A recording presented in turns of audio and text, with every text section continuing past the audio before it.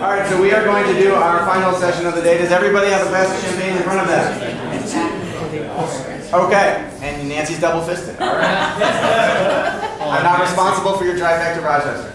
Okay, so what we're going to do, this session is Napoleon Hill's formula in 30 minutes a day to any goal you want in less than 12 months.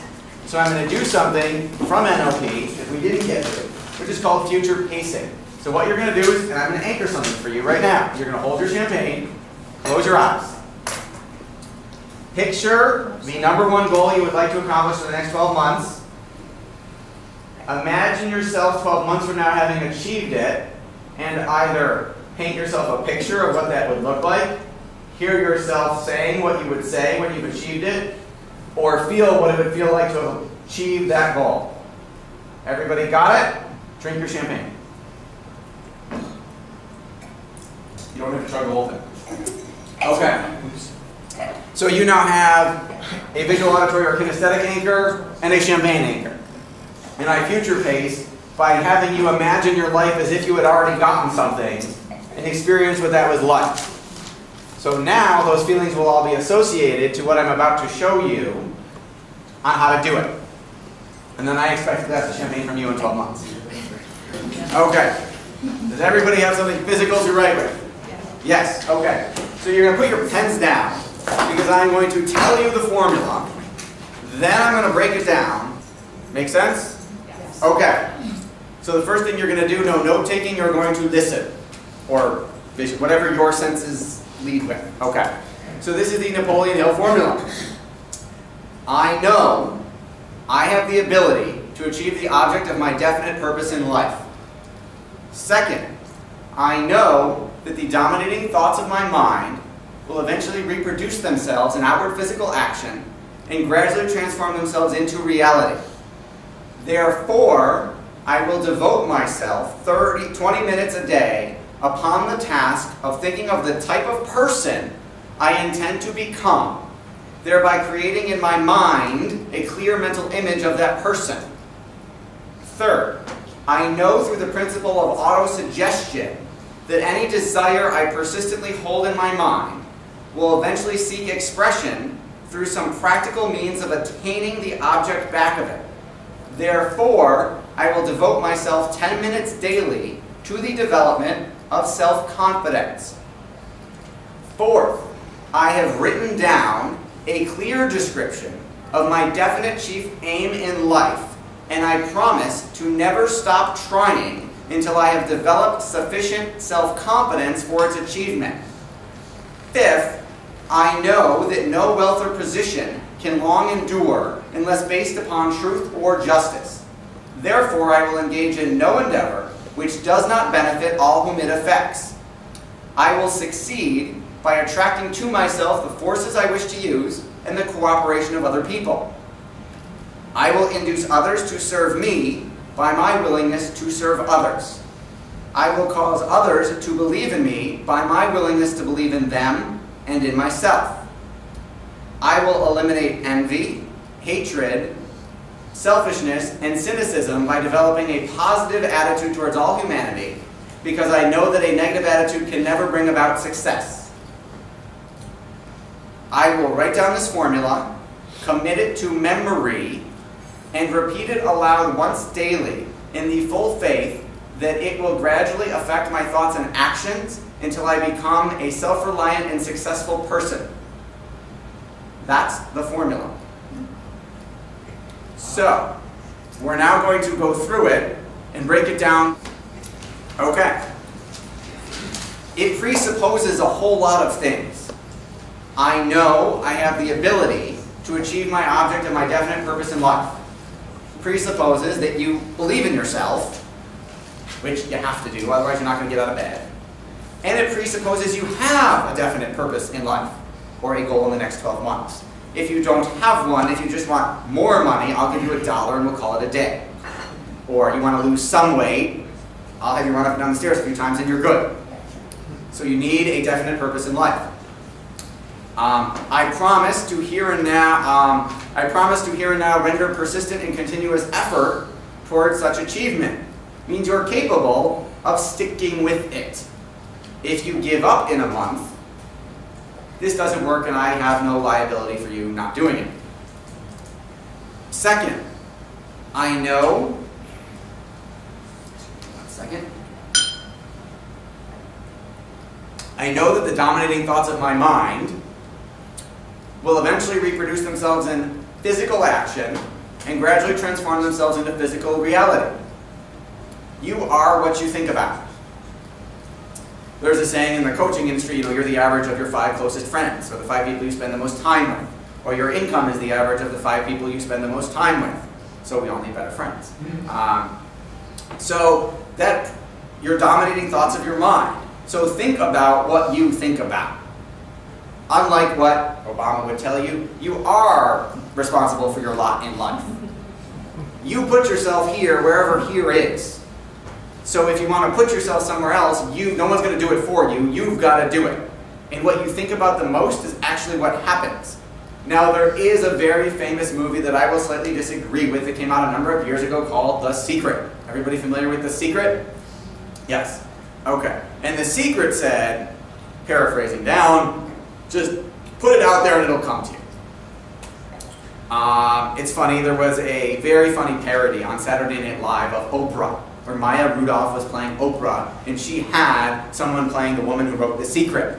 And Maya, I will do a lousy Oprah, but Maya's Oprah was like, just every time, like throughout the little five minute skit, like she would say, Secret! And the crowd would go nuts. That's what she does. So Maya said, the secret worked, so Maya is, Oprah says, the secret worked for me. I had a dream last night that I wanted to fly above the city of Chicago in a hot air balloon, eating a peanut butter and jelly sandwich. And this morning when I woke up, I told my assistant, I want to fly above the city of Chicago in a hot air balloon, eating peanut butter and jelly, and she found a hot air balloon company, and she made me peanut butter and jelly, and I got in it, and now I've got peanut butter stuck to the roof of my mouth. Secret! so the difference is she didn't just picture it, she did something. She told somebody else to make it happen, but she did something to make it happen. So unlike The Secret, which said just visualize it and it'll happen, I don't think your ship will come in. You have to actually swim out and go get it. You actually have to work your butt off to make the Ferrari a reality, or whatever it is that you want. Um, so, what do you think about? Start listening to your, or watching, or feeling your own thoughts. What are you thinking about the most? And if you're thinking about a scarcity consciousness, oh my god, I don't have enough money, I don't have enough clients, well, that's probably why you don't have enough money or enough clients. You have to think from an abundance mindset. There's more than enough to go around, prosperity is my divine birthright, or whatever you want to say to yourself. Um, third, I know through the principle of auto-suggestion. This is like a computer, garbage in, garbage out. You put crap in your head, you're going to get crap. My um, dear friend and employee, um, Rebecca Cronin, who is here, got my wife hooked on a game called Candy Crush. Some of you have played this. So to bond with my wife, well, she plays it while she's nursing our daughter. So to bond with my wife and be a good husband, I started playing Candy Crush. And I'm now stuck at level 23. I gave up because I realized all the time I was spending on Candy Crush I could have used to do something better with my life. So, for a little bit of time, Candy Crush was a dominating thought in my head. Stupid freaking level, I can't get past this level. And I'm stuck at that level. Are you surprised? Because I kept thinking, I'm stuck at this level. If I had said, how do I get past the level, I might have gotten past it. A more empowering question.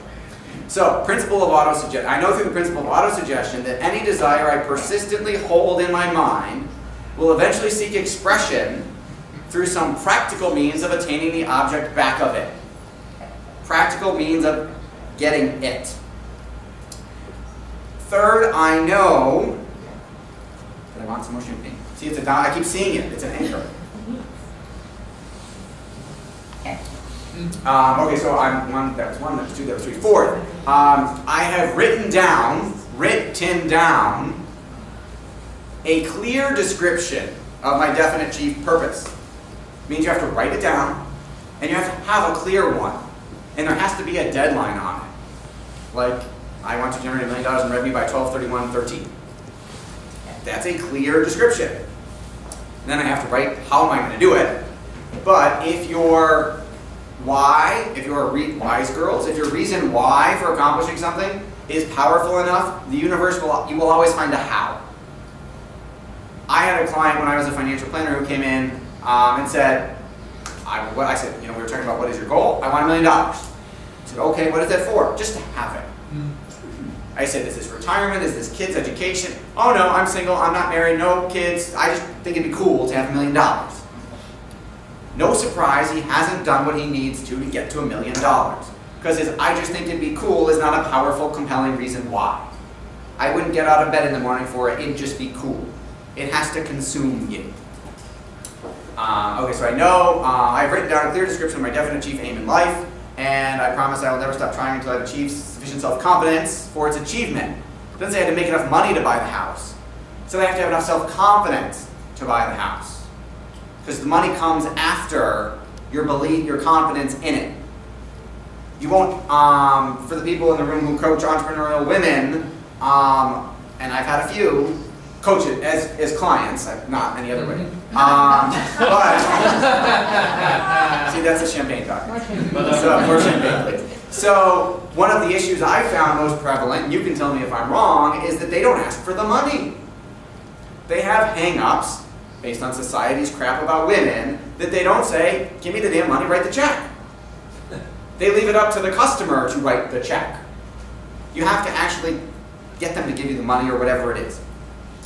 Um, I will, fifth, I know that I will, um, no wealth or position can long endure unless based on truth or injustice. I will engage in no endeavor which does not benefit all whom it affects. So, you have to actually do some good for people, yes. Can you repeat that last I know that um, I know that no wealth or position can long endure unless based upon truth and justice. I will engage in no endeavor which does not benefit all whom it affects. that's- We have to be doing good. That. Yes, so that's why my idea of your shelfhelp.com, you're not going to open the damn product anyway, send me the money, won't work. I might get a few people, but it's not a sustainable business model. It's not benefiting anybody except me for them sending me money. It's taken in. It's taken anyway, shelfhelp.com. All right. She looked. She looked. She went on GoDaddy, her GoDaddy app. Okay. Um, I will. Uh, I will succeed by attracting to myself the forces I wish to use in the cooperation of other people. I will induce others to serve me by my willingness to serve others. Paraphrasing, well, Zig Ziglar would paraphrase it decades later. You can help. You can get whatever you want if you will help enough other people get what they want. Um, I will eliminate. Uh, I will believe. I will cause others to believe in me because I will believe in them and in myself. Nobody's going to believe in you unless you believe in you. So, for example, I have a client who's a, also a professional magician, except he's much, much better than I am, and like designs tricks for people like David Blaine, and is absolutely amazing. Yes, see you know. Okay, so he had an issue where he was performing, and he will tell you this. He was overweight, and he was performing, and some guy he was lecturing to other magicians, and some famous magician who I won't name came up to him and said, "How can I take you seriously if you don't even love yourself?" And my client was like, "What are you talking about?" Was like, you're significantly overweight. You don't even respect yourself enough to get in shape and be healthy. How am I going to give you any money? How am I going to help you at all? Now that's pretty harsh for a complete stranger to walk up and tell you that. If my client was a different person, he may have punched that guy in the face and then sat on it. Uh, but he isn't. He is. He was like, "Oh my God!" It finally clicked, and he dropped like hundred pounds. And the next time I saw him was after he had lost all the weight. I was like, "Oh my God, you look amazing! What happened?" And he's like, "Let me tell you. It's an interesting story." So I will induce. So I will believe in others. I will cause others to believe in me by my willingness to believe in them and in myself. Um, I will eliminate envy, hatred, selfishness, and cynicism by developing a loving attitude towards all humanity, because I know that a negative attitude can never bring about success. Have you ever noticed that the negative Nellies in your office, if you have one, aren't the people who are the top producers? They're in the bottom 99%. They're not in the 1%. Because you can make excuses and you can make money, but you can't make both.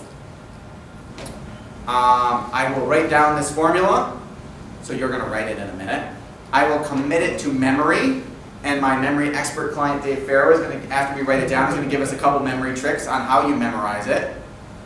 Um, and I will repeat it aloud once a day in the full faith, you know, that it's going to work. Because it will. And when Dan taught this to me, he said, I'm not giving you, a, this is before, he's like, I'm not giving you a PowerPoint. You have to write it down.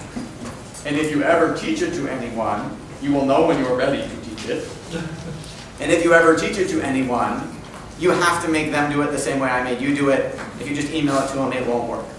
Copying and pasting it onto your desktop every day doesn't count. You have to actually write it down now and then read it, well, memorize it. Okay.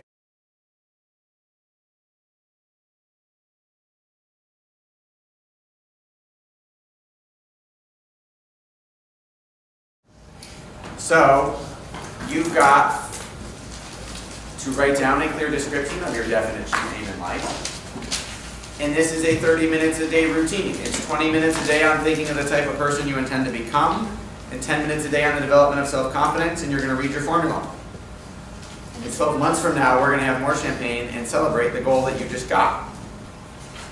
So it all boils down to this. That your business or your life or whatever it is, um, it's funny, I read this somewhere, I texted it to my brother-in-law who said, Tony Robbins just said this on Dr. Oz two minutes ago. And I wasn't watching Dr. Oz. And the quote was, your business can only grow as big as you do. Your life can only get as big as you do. It's about the type, the person you are, and everything else will reflect that. With that being said, um, before Dave gives us um, his memorization, a couple of quick memorization tricks, next month is July 12th. This meeting will be July 12th at Salvatore's Italian Gardens. As you can see, we have outgrown this room. So it will be at July 12th from noon to 3. You must be getting bigger. We are getting bigger. Yes, as a person, yes. There will be appetizers and desserts too. The dinner, your waistlines will hopefully not get too much bigger. The content for next month. So I have been working with a woman by the name of Sally Hogshead, who is the best-selling author and founder, best-selling author of the book Fascinate, and the founder of the Fascinate Marketing System. She did uh, all of this based on a personality test she created, the Fascinate Marketing Test. Now, unlike Myers-Briggs or other personality tests that might tell you how you see the world, Fascinate tells you how the world sees you, which is a marketer or a business owner is incredibly important. So I've had all of my employees taking it. Taking it myself has allowed me to resolve a number of conflicts that existed in my life because I didn't realize what the problem was. And I realized there are 49 personality types based on your primary trigger, your secondary trigger, and your dormant trigger. You'll learn all of this. We're going to be doing it next month. So the Fascinate Marketing System is what we will be teaching highlights of. So it is composed of one, two, three, four, five, six binders, a bunch of DVDs, and CDs. I will be trying to boil down, as I drop it all, highlights of that into next month. That's going to be the first half. The second half is going to be 10, it's going to be seven hot seats, like you saw people coming up, 15 minutes each, where we're going to go over their Fascinate score, and the group is going to work on making them more fascinating. But what you will also get if you participate in one of those hot seats is an hour of my time, based on my work with Sally, one-on-one, -on -one, working with you and making you and your marketing more fascinating. So, because of that, and the test also costs money. So everybody who comes, who is a paying, either a client of Market Domination or a paying guest, you will get free access to the test ahead of time so that you can come with your profile and learn about yourself and how to make yourself more fascinating to close more business. Um, the people who want to get a hot seat and an hour of my time and my team making you more fascinating, because it, we're taking our time to do that, that's going to cost $300. It's fully refundable if you're not happy, if you don't feel more fascinating in any way, shape, or form. Um, that also includes the test, the hour of the time, and a guaranteed hot seat. Now, I will tell you from work on my own fascination stuff, not only did it resolve some conflicts in my life, um, it explained to me why I have attracted the employees I have. and which ones I need to hire. Because my personality type is the change agent. You'll learn what that means. My primary power trigger is power. My secondary trigger is rebellion. My dormant trigger is trust. So, almost every single employee I have has a primary or secondary trigger of rebellion. We all like to shake up the status quo. That's why they work for me. And most of them have told me they could never go work anyplace else after working for me because a normal job just wouldn't cut it anymore. However, I'm missing the trust trigger. It's not one of my primary or secondary triggers. So Kristen is my only employee with a trust trigger. I need to hire a whole lot more of her because it's what we are missing. We're busy shaking up the status quo and forgetting to do the trust stuff. Um, so in addition to that, um, it resolved several conflicts I was having with a local networking group that I was a member of um, because my power and rebellion wasn't working for people who were not power and rebellion, who didn't resonate with that. Um, it resolved a couple conflicts in my personal life, and doing it online and making our marketing more fascinated tripled the traffic to my website in 30 days, which has resulted in a lot more stuff, which is all good. Um, so if you want to participate, if you want to come, get the test and learn, no problem. If you want to participate in the special fascination consultation and get a guaranteed hot seat, let us know. Bruce will have my iPad cash register swiper thingy afterwards. That will be July 12th. Even if you don't participate in the hot seat in the one hour time, I guarantee you, you'll be more fascinating by the time you leave. Also, one thing you should know is it applies in your personal life too. You cannot tell my wife, mm-hmm. but since I started doing this, she has told me I'm sexy more times than in the rest of our marriage. So it works at home too. You shouldn't do it for that reason, but it's an extra bonus. And then you can remember your last really good sexual experience. So it'll get your legs. Totally a reason to do it. It's totally a Why reason. not? What's your motivator? Yes, what are your motivations? So, July 12th, 12 to 3 at Salvatore's. Um, before we wrap up, we're going to give Dave a couple minutes to tell you faster ways to memorize the formula you just wrote down. Yeah, sure. Who was, who wrote this hundred years ago? Napoleon Hill, And then the author of Think and Grow Rich. another a great inspiration for that is Wallace Wallace Wattles. Yes, who was the Yes. science of becoming, yes. Yes, very older type language, great. So, um, yeah, those of you guys who don't know me, I'm the memory guy. I'm in the Guinness Book of Records for memory, and I sell products internationally and been on TV and stuff. Uh, really great, great fans of Seth's work. Um, so, a couple of tricks on how to memorize this. It really does make a difference uh, if you use a strategy instead of just you know effort. Uh, first of all, repetition does not work. It bores the brain, so you may be able to remember something like cramming for a test, but with studies show within three days repetition usually skewers the information. You'll start moving lines around and it won't make sense. Repetition is not a good strategy. What you want to do is, like as we talked about with your different modalities, you want to try to visualize the information. Even if you're not a visual person, we don't have a word in the English language that says to uh, to uh, imagine something in your mind's eye using all of your senses. I think centralization would be the closest. That sounds dirty. So, uh, so I might say visualize it or picture it. But you know, if you're a kinesthetic person, you put yourself in the image. Since we were talking about kinesthetic and auditory and such. And if you're auditory, you imagine all of your senses. But essentially, what you want to do is go through the material maybe once or twice and highlight what are called the key words. These are the words that remind you of the whole sentence. So for friends, Romans, countrymen, lend me your ears, just the word ears might remind me of that whole thing because it's an iconic phrase.